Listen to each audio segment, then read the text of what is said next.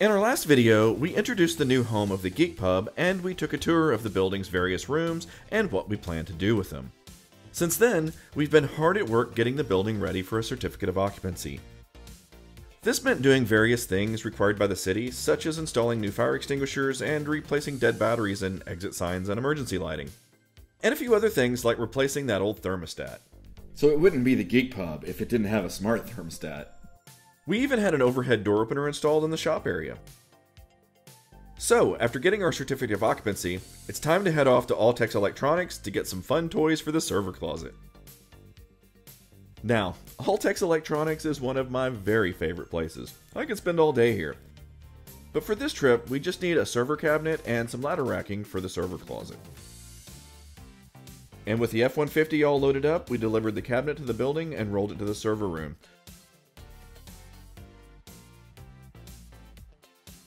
With the server rack in position, it's time to measure and install all of the ladder racking. Ladder acts as a bridge of sorts that supports all of the cabling in a server room. Installing the ladder is super simple, just some toggle bolts into the metal studs, making sure everything is level and square. Ladder only comes in a couple of sizes and you have to cut it down to the size that you need. Since the shop isn't set up yet, I just used the tailgate of my truck as a workbench to cut the ladder using a little DeWalt handheld bandsaw.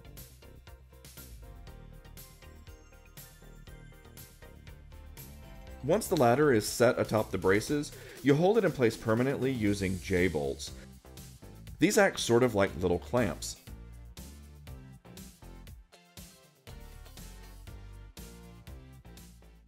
Okay, so now that we have the first piece of ladder up, I'm going to slide the rack uh, back into the place where I want it to live permanently, and then we'll measure how long we need for the extension that comes off of the main ladder.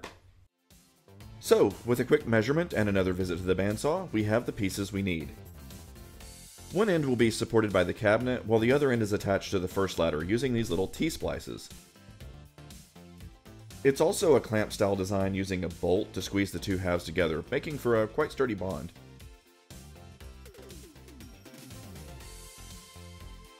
Yeah, this looks really nice. So there's this big uh, mess of analog cables that are coming out of the ceiling. And uh, I was going to leave them here so that I could use them um, as pull strings for all of the other cameras. But it is just an absolute rat's nest above the ceiling. So I'm just going to go ahead and chop them off. Hopefully I can still use some of them for pull strings. But oh my god, these have to go.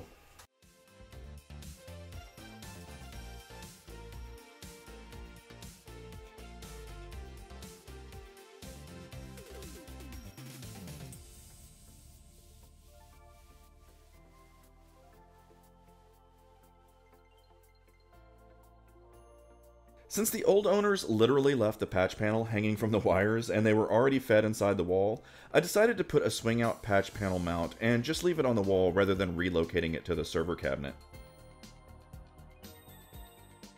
The swing out panel will make it much easier to add cables later, and we plan to add a lot of them for cameras and the security system. So, uh, Spectrum literally left me a pile of equipment on the floor, so I guess we should start by getting this stuff all cleaned up. And since this stuff isn't rack mount, I started by putting a shelf in the cabinet to hold it all. Since um, I have static IP service, I am required to use their equipment. Gross. Next, I laid the Spectrum cable into the ladder and tied it down. Unfortunately, Altex was out of stock on the cable managers for this Tripp Lite cabinet, so I'm just velcroing it to the sides for now. At the top of the rack, I put in a Ubiquiti Pro 48 port PoE switch. Below that, I put in a 10 gigabit capable pfSense firewall. I have a write up on this unit at thegeekpub.com. At the bottom of the cabinet, I started by putting in a battery pack. This will add much needed runtime to the UPS. On top of that goes the actual UPS. I sized everything to run the servers for about 4 hours. Next up is A12 Bay Synology. This guy acts as the NVR for recording all of the cameras. Then, another more powerful 12 bay Synology that acts as the storage array for our VMware cluster, and a storage appliance for video editing. Top that off with a couple of Supermicro 1U servers packed with processor and RAM for the actual compute. And we're still waiting for cable managers to arrive, so it's still pretty messy behind. Ah, the sound of screaming servers. You know, I think I like the sound of screaming servers probably about as much as LGR likes wood grain.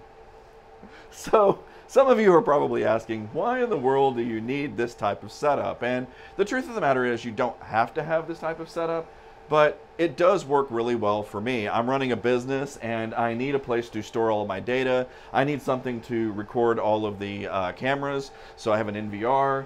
And then I have all kinds of servers. And, it, and in fact, I'll post a link in the description below uh, to another video where I kind of gave a tour of all this equipment and what it does and what it's for. Uh, but uh, just a quick refresher is that I do have like Windows domain controllers on here. I have some VDI uh, workstations on here for working remotely. Uh, this is where I do all of my video editing. So anytime I do video editing, it all goes here. Any photography that I take for articles and things like that, all wind up here.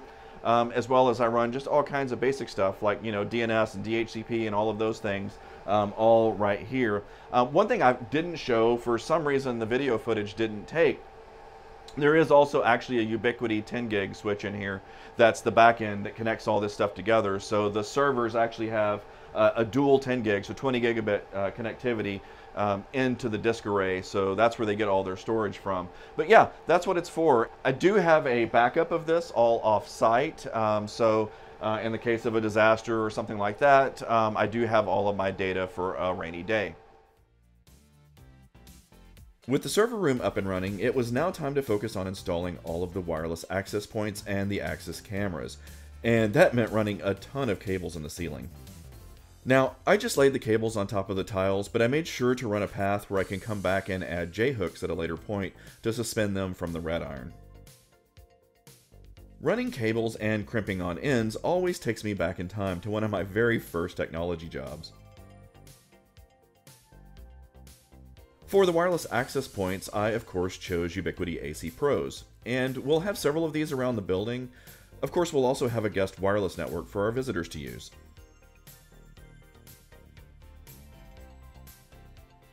While I worked on the access points, David got to work pulling runs for the security cameras. And boy do we have a ton of those. We put security cameras in strategic locations. This includes each corner of the building and various places around the interior. We even have a camera watching over the dumpster for those who would dump illegally. After finishing up, we just need to put all of the ceiling tiles back in place. And although we have a bit more to do and some cable cleanup left, the network is starting to look really nice. Well, that about wraps it up for this video. Thank you guys so much for watching. So if you come back, we will have videos on a new shop tour, which you can kind of see here I've been working on. Uh, we're going to build the what I consider to be, and I, well, I hope to be the ultimate electronic station. And so we're going to build that for the electronics room uh, where we're going to do all of our repairs on vintage computers or Arduino projects or those types of things. Um, and then we still have yet to build this, the new uh, YouTube Studio set. I really want a set that I can sit in front of um, and have some kind of background that's a little bit more um, exciting than this. And so we're going to try to build the ultimate YouTube set. Don't know what that looks like either, but we'll figure it out. See you in the next video.